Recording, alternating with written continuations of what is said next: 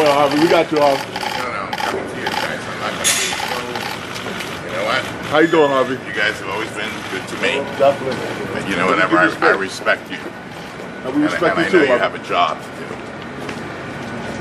Harvey, how's your wife taking everything with this?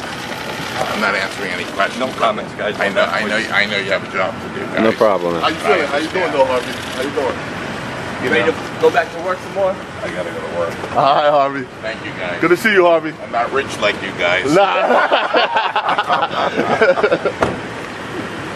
Good right thing. All right. Thank you, Harvey.